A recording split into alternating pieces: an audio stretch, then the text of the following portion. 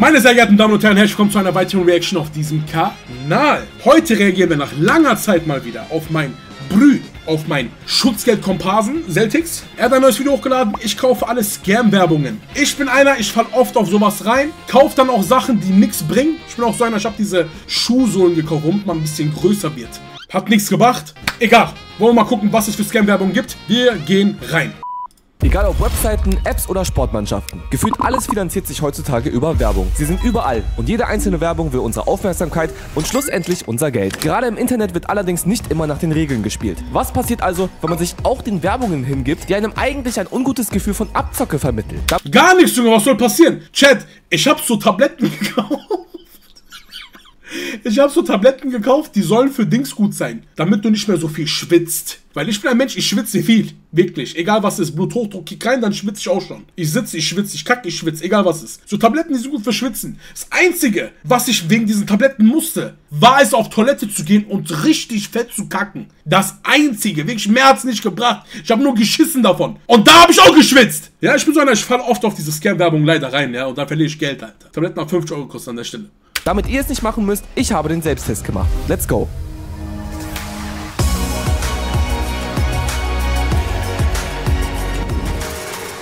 Amazon Technik-Hacks. Dieses Ding schützt euch vor diesem Ding. Dieser Blitzerwarner Aber das kennt man doch. warnt mit einem lauten Piepsen vor jedem mobilen und festen Blitzer. Das kenne ich. Das soll sogar verboten sein. Ich glaube, die Polizei, ich glaube, die Polizei sagt dann auch, dass das verboten ist. Das Teil bringt echt was. Ja, ja, das kenne ich, das kenne ich. Das verbindest du mit einer App und sowas. Aber ich bin auch hier lieber Blitzer-App als das, oder? Was sagt ihr? Silvia schreibt, es ist ein wirklicher Helfer. Auf einem Fahrtweg von ca. 25 Minuten gibt es schon ca. 5 Blitzer. Oh no macht mich aufmerksamer. Memma 007 schreibt, der letzte Dreck. Wenn ich könnte, würde ich die Firma verklagen. Ich bin in den letzten drei Wochen zweimal geblitzt worden und das bei festen Blitzern, weil das Ding keine Warnung mehr ausspuckt. Meine Damen und Herren, hier haben wir das schöne Teil. Jetzt denken sich die einen oder anderen, dass Davon gibt es sogar eine neue Version. Ono 2.0 oder wie das heißt. Aber das Ding ist, natürlich kann das Teil nicht immer was bringen, weil ich glaube, die Community bringt doch etwas, oder? Wenn jetzt einer, wenn ich jetzt fahre zum Beispiel und bei mir auf der Straße ist ein Blitzer, dann drücke ich doch da drauf, damit das so gesehen gespeichert wird. Ja, aber wenn keiner an solchen Straßen vorbeifährt, kann ja nicht jeder Blitzer erkannt werden. das ist doch safe illegal, genauso wie die Blitzer-App. Ja, viele sagen zwar Grauzone und es ist erlaubt, weil es auch irgendwie Gefahren anzeigt, aber ich bin mir ziemlich sicher, dass wenn man angehalten Wurde trotz App dreimal geblitzt. Ja, fahr mal langsamer, Junge, Raser! wird und dieses Teil sieht, dass man 75 Euro Bußgeld zahlen muss und einen Punkt in Flensburg bekommt. Ich teste, oh no, oh no, wir wurden geblitzt. Versteht ihr? natürlich nicht selbst, sondern ein guter Freund von mir. Ich würde sowas Illegales natürlich nie machen. Zack, sieht eigentlich aus wie ein AirTag. Hier sind Klebestripes und ich könnte den Lachs jetzt irgendwo hier befestigen. Könnten. Ich mache es natürlich nicht. In der Bedienungsanleitung steht quasi nur, dass man die App herunterladen soll und dann soll das Ganze schon funktionieren. Mein Kollege testet das jetzt mal für euch.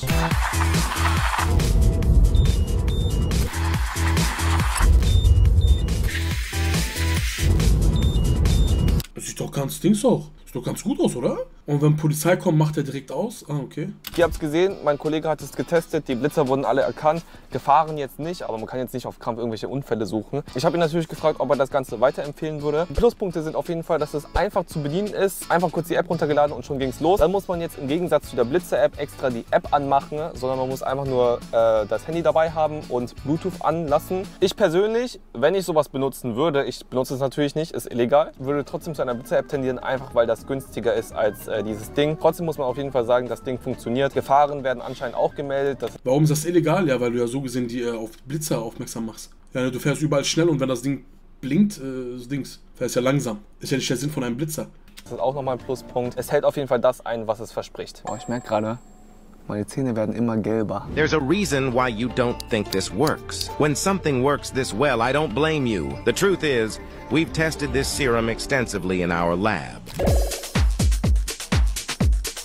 Ich weiß noch, damals, meine allererste Kooperation war mit Smile Secret, bevor die voll die Hatewelle kassiert haben, weil die die Leute abgezogen haben. Das war meine allererste Kooperation über Snapchat damals. Weiß ich noch. Habe ich so ein Paket bekommen. Voll komisch, habe ich mir so ein Leuchtteil im Mund reingesteckt, was bei, äh, was bei äh, Dings, was am Ende dabei rauskommt, ist, war einfach nur noch Hate für jeden, der es gemacht hat. Habe ich aber Glück gehabt. Aber das hier habe ich vor kurzem noch eine Anfrage bekommen. Zwar nicht von der Firma, sondern von einer anderen. Ja, egal, kurz und knapp, putzt einfach eure Zähne. Raucht nicht weniger Kaffee, fertig ist. Ursula schreibt, toll, das Produkt ist wirklich toll, aber für mich zu teuer. Hä? Warum dann 5 Sterne? Jovo schreibt, bringt nichts, Abzocke. Null Aufhellung der Zähne, nicht mal um eine Nuance. Bringt genau absolut nichts. Dieses Produkt hier verspricht, dass man direkt hellere Zähne bekommt, nachdem man es aufträgt. Hört sich an wie ein Traum. Aber wie soll das Ganze überhaupt funktionieren? Der V34 Color Corrector nutzt die Technologie der Farbkorrektur. Violett liegt auf dem Farbkreis direkt gegenüber von Gelb und ist daher dessen Komplementärfarbe. Daher wird ein wasserlöslicher violetter Äh, was geht jetzt ab? Farbstoff auf die Zähne aufgetragen, um gelbe Untertöne auszugleichen. Okay, zwei Brummstöße auf eine weiche Zahnbürste. Und jetzt soll ich zwei Minuten sanft putzen. Okay, ich putze jetzt nur auf der rechten Seite, um den Unterschied zu sehen dann. Ich kann es jetzt nicht so gut beurteilen, weil ich nicht Bin ich behindert oder wird's ehrlich heller? Oder ist es einfach, weil er seine Zähne geputzt hat und das vorher nicht gemacht hat? Ja, normal, Junge, hier hat Zähne nicht geputzt. Hier ist sogar noch Abukaries. Minimal? Ja, ich glaube einmal, weil es sauber geworden ist, oder? Weiß ich nicht. Sie sieht schon heller. Achso, ich sehe es gar nicht. Sieht schon heller aus. Liegt am Licht, ja. Ist so dasselbe Licht. Keine Ahnung, also weiß ich nicht. 1 zu 1 Vergleiche habe, aber ihr seht es gerade. Ich sehe nicht so viel Unterschied, eigentlich gar keinen. Das Ding ist halt auch noch, das soll gar nicht langfristig irgendwas bewirken, sondern einfach ein paar Stunden halten und dann muss man halt wieder neu machen. Sehe ich halt irgendwie nicht den Sinn dahinter, vor allem wenn man halt auch kaum einen Unterschied sieht. Ne? Putzt einfach eure scheiß Zähne, Mann. Finde ich aber echt krass, ne? Es werben so viele Leute dafür, also extrem viele Influencer werben dafür. Und ihr seht es ja auch auf TikTok, wie krass diese Unterschiede da zu sehen sind und so. Also fallt da nicht drauf rein. Das ist ein absolut, meiner Meinung nach, heftiges Scam-Produkt. Ich habe natürlich auch Rezensionen gelesen und ungelogen. 95% behaupten genau das gleiche, bringt gar nichts. Äh, ja, haben es auch für mehrere Wochen getestet und so. Naja, Rain is the way to sleep quicker. Boah, ich liebe sowas. Boah, ey, wenn es jemanden gibt, der weiß, wie, ob sowas was bringt, bitte schick mir den Link. Bitte schick mir den Link. Ey, ich bin verrückt danach. Ich, ich oute mich sogar. Ich bin verrückt danach, mit Regengeräuschen einzuschlafen. Ich liebe es. Boah, wisst ihr, wie geil es ist, wenn es regnet hier, so Dachboden, so Fenster und so, wenn so Regen so plätschert. Oh, ist das cool. Boah, Palapoto, Bruder, das ist so cool. Boah, boah, Bruder. Müssen wir vorstellen, wie ich so im Bett liege, ich. Und dann schlafe ich da so und dann höre ich so Regengeräusche. Ich liebe es. Ich liebe es. Ich habe auch eine Zeit lang, hört sich jetzt voll komisch an, letztens noch Sarah's, äh, Sarah's Secret dafür voll gefrontet, aber ich nehme ja keine Perlen. Hier, guck mal, es geht direkt an, weil ich habe nichts gedrückt. Ich habe nichts, ich habe nichts gedrückt, ihr habt es gesehen, warte, ich mach nur das Bildschirm äh, dunkler. Tiefenentspannt. Bruder, solche Sachen gebe ich mir beim Schlafen auch einfach. Es gibt anscheinend so eine Frequenz, wo dein Körper so ein bisschen so runterkommt. Oder mach ich an. Schlaf ich wie ein Baby. Sag ich ehrlich. Schlaf wie ein Baby, Moruk. Okay, sehr nice. Jessica schreibt, Rain sound isn't very loud, but is calming and the diffusion doesn't produce much vapor. Äh, dieser Wolkenluftbefeuchter ist übelst im Trend. Richtig klassisches Dropshipping-Produkt. Ist auf jeden Fall China-Ware. So, warum ist es denn überhaupt so im Trend? Einfach, weil jeder Regensounds mag. Auch für mich ist das auf jeden Fall sehr entspannt, wenn man so einschlafen möchte. So ein bisschen Regensounds. So, viel ist hier nicht drin, nur ein Kabel. Und das Ding hier. Und eine Fernbedienung. einfach Koran an und dann Beste. Habe ich auch eine Zeit lang gemacht. Auch während ich meine YouTube-Videos damals geschnitten habe. Ja, meine YouTube-Videos waren jetzt auch nicht die besten, so mit Beleidigungen und sowas. Aber während ich es so geschnitten habe, habe ich so zur Beruhigung im Hintergrund Koran laufen lassen. Das Ding ist, äh, ist sehr schön, würde ich gerne machen, aber ich finde irgendwie den Gedanken ein bisschen komisch, wenn ich nachts schlafe. Und jetzt hört sich das voll komisch an, aber ich denke, ihr versteht das. Stell mal vor, ich furz nachts. Es ist wirklich ernst gemeint. Und da nebenbei läuft Koran. Ich fühle mich dann irgendwie nicht so wohl, weißt du? Ich hoffe, ihr checkt das. Das ist nichts, worüber ich mich gerade lustig machen will, sondern ich meine es ernst. Ich weiß nicht, was ich nachts mache. Stell mal vor, es läuft Koran neben mir, ich schlafe dazu ein, ich pack mir ein Yaro oder so oder ich furz. Ernst gemeint jetzt. Irgendwie finde ich den Gedanken ein bisschen komisch dabei. Denk nicht so. Ja, Bruder, ich weiß schon, was du meinst, aber ich finde es ein bisschen, du weißt schon, ist ja nicht bewusst. Ja, ja, ist ja auch so, aber weiß ich nicht. Ist keine Absicht, ja, das stimmt aber eigentlich auch. Die Batterien natürlich fehlen. Ach, Mist, ey. Dann gibt es hier so eine Grenze, wo wir reinfüllen dürfen. Reicht. Okay, Farbe geht schon mal an. Okay, ich bin gespannt, wie das Teil jetzt ist. Kann sein, dieses Teil wird gleich live bestellt hier.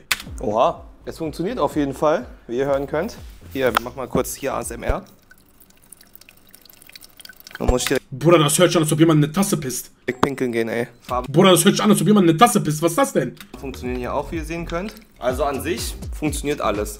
Alles, was es verspricht. Ich habe auch ein bisschen Angst gehabt, dass der Motor vielleicht zu laut ist, lauter als der Regen, aber man hört wirklich nur Das ist so, als ob ich neben Toilette schlafe. Ich war gerade voll gehypt, das Ding zu bestellen, Junge. Was ist das denn? den Regen. Man kann auch hier einstellen, wie viele Tropfen rauskommen, schnell oder langsam. Also an sich ist Und ich stehe morgens auf, ich habe in die Hose gepisst. Wenn ich morgens aufstehe, ich habe einfach so gepisst. Bei dem Sound safe. dieser Regenluftbefeuchter gar nicht mal so kacke. Nur es hört sich nicht wirklich wie Regen an, sondern einfach wie Pisse oder wie so ein typischer Trinkbrunnen für Katzen. Wenn ich dieses Pilzding sieht auch voll pervers aus, das Teil. Aber so, Jaro. halt wirklich aus wie so ein Pilz, das soll eine Wolke sein. Wenn ich das so in der Kamera Guck mal, in Pink sieht das voll pervers aus, Chat. Achte mal. Rosa-rote Panther, Jaro. Sehe, finde ich das auch ganz cool als Dekoration oder als Beleuchtung, oder? Findet ihr nicht? Deswegen. Ah, Chat, äh, ah, anstrengender Stream. Jetzt ein bisschen schlafen. Hör dich eins und so an! Hey, bevor es weitergeht, lass gerne ein Abo da. Denn so wie du hier gerade siehst, haben so und so viele Leute nicht den Kanal abonniert. Ich verstehe es nicht. Du guckst die Videos, aber abonnierst nicht? Lass gerne ein Abo da und lass uns endlich die 100k knacken. Chat, sag, was Sache ist. Los, sei endlich cool. Ein ganz okay Produkt eigentlich. Gar nicht mal so schlecht. Ich habe weniger erwartet, bin ich ehrlich. Ah, und wenn wir schon beim Thema Beleuchtung sind, in meinem Homeoffice hier hat immer gescheite Beleuchtung gefehlt. Kovi, Und deswegen hat Xiaomi mir netterweise Xiaomi. Rahmen sein. Gluten- und palmölfrei, stattdessen mit viel Eiweiß und Ballaststoffen. Chat, kennt ihr diese pinken Bulldog-Rahmen? Carbonara-Style? Sagt mal, wie lecker aber. Diese richtige Chemiebombe. Diese mit Magenkrämpfe auf Toilette einen wegkacken, aber trotzdem schmeckt gut. Aromatik Sexomaniac. Die schmecken Müll. Raus. Boah, die hab ich lange nicht mehr gemacht. Raus. Boah, die schmecken so. Boah, Bruder. Bune, Chickless, Chili Bang Rahmen. Schatz, was hast du gekocht? Chili Bang! Jürgen schreibt, ja Thailand, aber Jürgen Würgen. es war mit drei Chilis nicht scharf. Habe eine Chilimühle mit Chili-Stärke 9. Fu- Hä? Das war mit Abstand das Schlimmste, was ich je gegessen habe. Einfach ungenießbar. Kann und werde ich niemals empfehlen. Ich freue mich sehr auf diesen Test. Ich habe sehr oft die Werbung gesehen und habe mir sogar schon privat gedacht, dass ich die mal bestellen sollte, weil die echt Sieht lecker appetitlich aussehen. Vegane Rahmen gibt es noch nicht so oft. Branding und Packaging feiere ich auch. Ist alles sehr bunt hier. Diese sechs Boxen kosten 30 Euro, das heißt pro Portion 5 Euro. Ja, okay, dann lass. lass. Rahmen schon relativ viel. Wenn man mal vergleicht, die äh, Yum Yum Mama Nudeln kosten alle unter 1 Euro. Wie funktioniert der ganze Spaß? Ist quasi wie so eine 5 Minuten Terrine. Ne? Deckel auf, kochen das Wasser bis zur Linie, 400 bis 500 Milliliter rein. Umrühren, Deckel wieder drauf. Das hier sind tatsächlich nicht alles Rahmen, sondern wir haben hier zwei Imposter, nämlich Mac and Cheese. Die wollte ich auch unbedingt mal probieren. Die sind auch Boah, ey, wirklich bei sowas, ich sag euch ehrlich, sieht man mir aber auch an, bei sowas bin ich der, bin ich der CEO davon. Ich habe mir diese Teile so oft reingepfiffen, auch beim, Sp äh, beim Sport sag ich, auch beim Zocken damals. Eine schöne, gute alte 5-Minuten-Terrine ist was Feines, Chat. Eine 5-Minuten-Terrine ist was Nices und ich zeige euch auch meinen Liebling von damals. Hier, Waldpilzrahm. Habe ich gefeiert, mag ich. Liebe ich, esse ich gerne. Eine 5-Minuten-Terrine ist was Leckeres, ist was Feines. Kostet nichts, machst du in 5 Minuten fertig und dann hau haust du dir das Ding in den Kopf und du hast nichts zu beschweren. Das ist geil. Hier, ich wusste gar nicht, dass sie eine XL-Variante haben. Sehr nice. Boah, ich weiß so zu meinen Black Ops 2 Zeiten. Du hattest keinen Bock, irgendwie Essen in Küche zu machen oder zu warten, wenn Mama gekocht hat. So, weil man ein kleiner Chojuk war. In 5 Minuten, hattest was zu essen, hast weiter Zombies gespielt. vegan. Machen wir schon mal alles ready. Schaut mal hier. Nom Nom Now. Echt cool, die haben coole Designer. Mm, es riecht richtig nach Curry. Chickless Ramen, was ist hier drin? Veganes Vollkorn-Reisnudelgericht asiatischer Art mit Kokos, Koriander und Kurkuma. Ah, okay. Das ist quasi der Inhalt und halt noch sehr viel von dem Curry. Jetzt heißt es nur umrühren ein bisschen. Deckel drauf. Das ist aber auch eine Monsterportion. Bam. Und jetzt warten wir fünf Minuten. Fünf Minuten sind um. Schön heiß. Wow, ich freue mich. Fangen wir an mit den Chickless-Rahmen. So sieht der ganze Spaß aus. Schön heiß. Erstmal die Brühe. Die Suppe ist auf jeden Fall relativ wässrig leider. Da ist schon sehr viel Inhalt drin, muss man sagen. Die Nudeln sind auf jeden Fall schon so mäßig vorgeschnitten, dass man immer so einen guten Bite nehmen kann. Boah, das mag ich nicht, ja? Das mag ich auch nicht, wenn, wenn man es macht. Das ist aber auch eine Beleidigung gegenüber Italienern an der Stelle. Hat zwar nichts mit Ramen zu tun, aber gegen Italienern. Bruder, man bricht keine Nudeln. Lass das Teil ganz, Mann. Schmeiß in Wasser, fertig ist. Die müssen lang sein. Warum, warum schneidest du Nudeln? Wenn du Spaghetti holst und du knickst die nicht mit, dann hol doch gleich einfach Pasta. Oder direkt kurze Nudeln. Warum knickst du die so? Bruder, bei Ramen dasselbe. Du musst die hochziehen.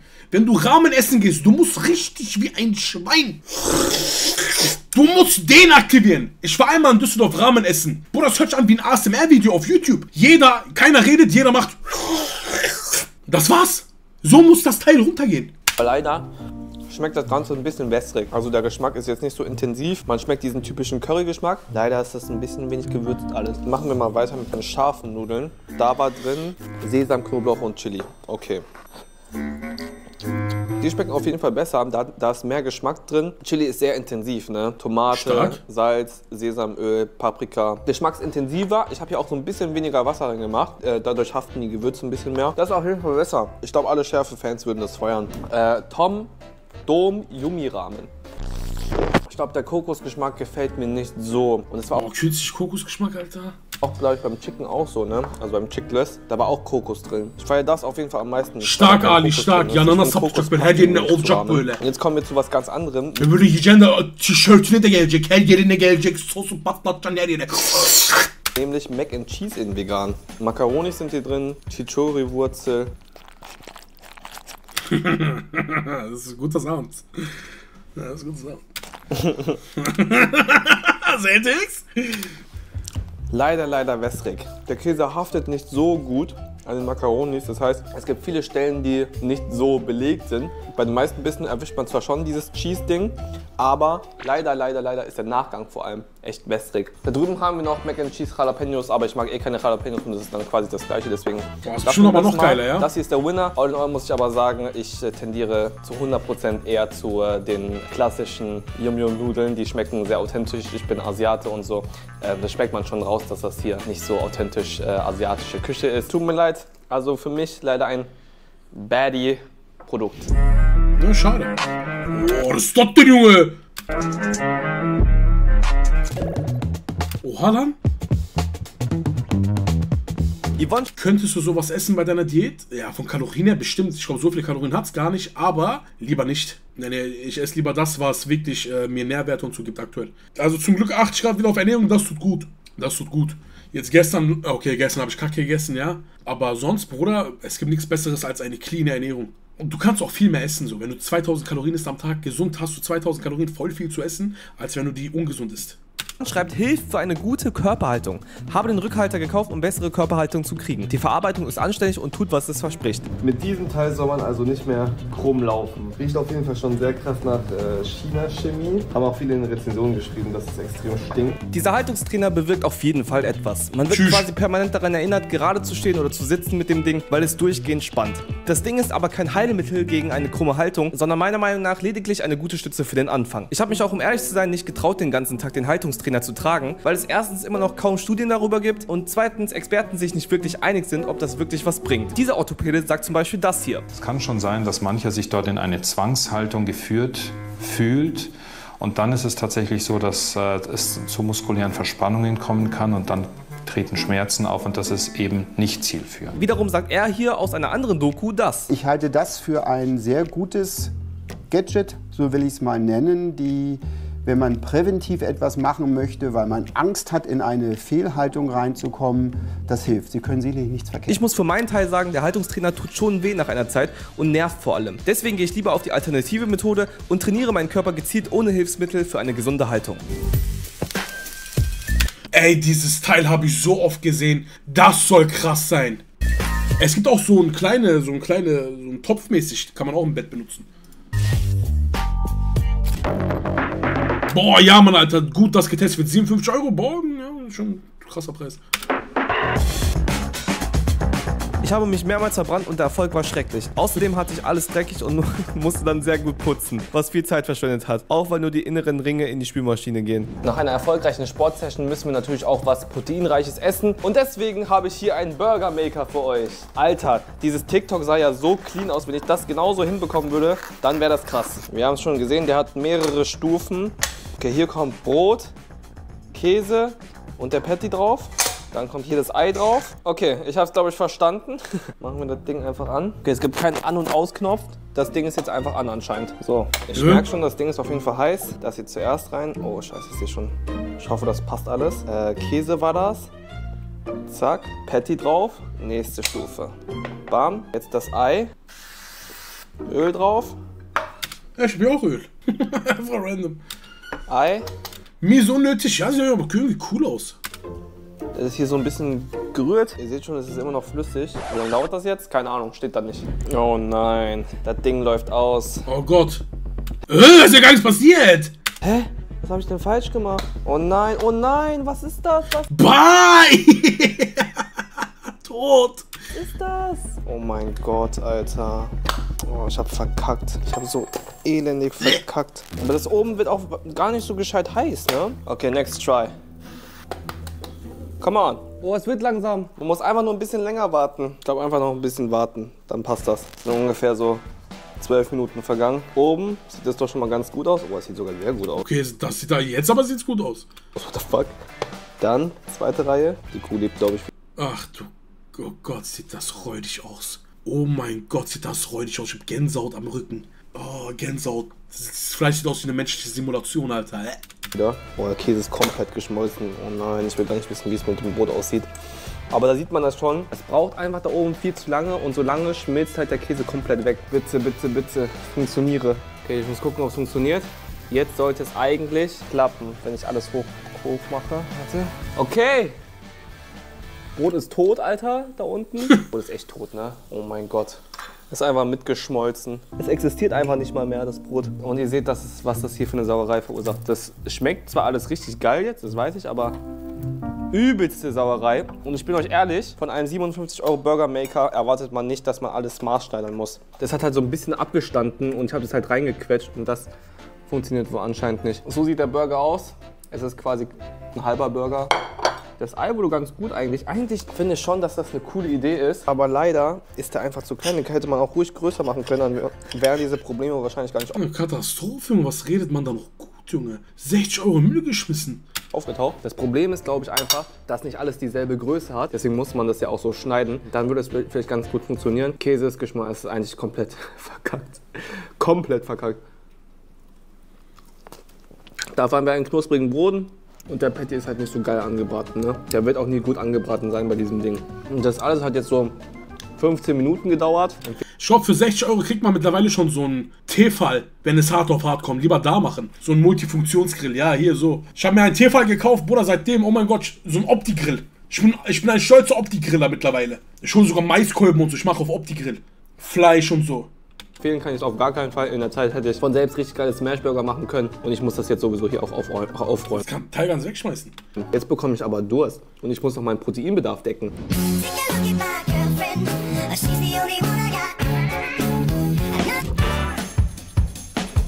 Meine Erwartungen wurden übertroffen. Ich benutze ihn mehrmals pro Woche für Eiweißshakes. Ist ruckzuck gemixt und keine Klümpchen beim Trinken. Ich habe ein großes Problem, nämlich kenne ich bis heute keine guten Shaker. Es ist Junge, wenn du keine guten Shaker kennst, mein Bruder, ich kann dir doch helfen, ja? Mann, Mann, Mann, Mann, Mann. Wie kann man denn keine guten Shaker kennen? Ja, ne, bitte, mein Bruder. Ausrufezeichen Pros in den Chat.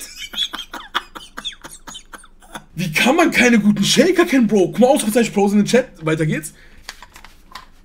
Und machst das Teil auf, Alter, ganz locker hier. Guck mal, hast du multifunktionsmäßige äh, Gitter hier, Ausrufezeichen Proses. Mit dem Code Onojan äh, könnt ihr sparen. Ganz locker, Morok. Ich weiß gar nicht, warum die Leute sich noch so anstellen. Wo ist mein, wo ist mein Pulver? Wo ist mein Pulver, Morok? Junge, Ausrufezeichen Proses, ja? Was ist denn los bei den Leuten? Machst du auf. Guck mal, hier ist der Shaker. Ganz einfach. Och. Ah, super. Das ist eine Scoop, Bruder. Machst du einfach ganz locker ein. Machen wir mal hier einen lockeren. Bruder, 10 Euro, Bruder, brauchst du nicht irgendwelche Scam-Werbung. Ein Scoop. Ich mach sogar einen zweiten. Ich mach sogar einen zweiten, Bruder, einen lockeren. Hier, packst du hier rein. Äh. Chat, bitte! Das war's schon, Modok. Habt ihr gesehen, was passiert ist, Alter?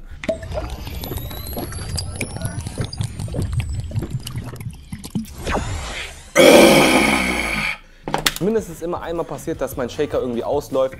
Meiner nicht. Wenn ich ihn gründlich zugemache, keiner weiß warum. Ich- trinke jeden Tag Proteinshakes oder möchte auch mal einen Smoothie machen, deswegen ist das schon wichtig, dass man einen guten Shaker hat. Und oft gibt es auch das Problem, nur vom bloßen Schütteln löst sich leider manchmal dieses ISO, Designer Whey Protein oder ISO Clear nicht gescheit auf. Aber bei Prose schon. Shit, ihr habt's gerade gesehen, Alter. Wie lange habe ich geschüttelt? Pass Bruder, ich hab sogar vergessen, das Teil reinzutun. So krass. Er ist der Shaker des Jahres. Guck mal, ich hab vergessen, das Teil reinzutun. Eigentlich filtert das alles. Morgen, Alter. Und da bilden sich halt so Klumpen. Und deswegen ist das, ist so ein Ding eigentlich richtig praktisch. Dann würde ich sagen, ich möchte jetzt mal einen Proteinshake machen. Dann noch ein paar Erdbeeren rein. Bam. Und Proteinshake mir und Pancake mir. Wo- Woher kommen die Erdbeeren jetzt? Jo, Freunde, was geht? Ich mach mir jetzt Proteinshake, Proteinpulver und dann aus dem Nichts. Jetzt kommt noch eine Mango rein mit Kern. Jetzt natürlich das Designer Way. Bam. Und jetzt einfach draufdrücken. Ja, die Klumpen kommen wegen dem Way. Bei Process wäre das nicht passiert. Ausrufezeichen Pros in den Chat. Okay, sind noch ein paar Erdbeerstückchen drin. Mhm.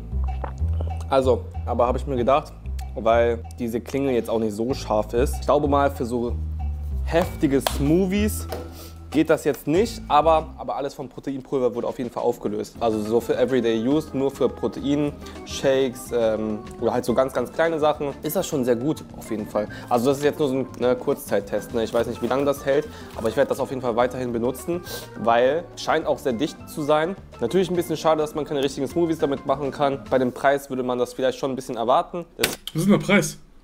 Preis gar nicht gesehen. Was kostet das Teil?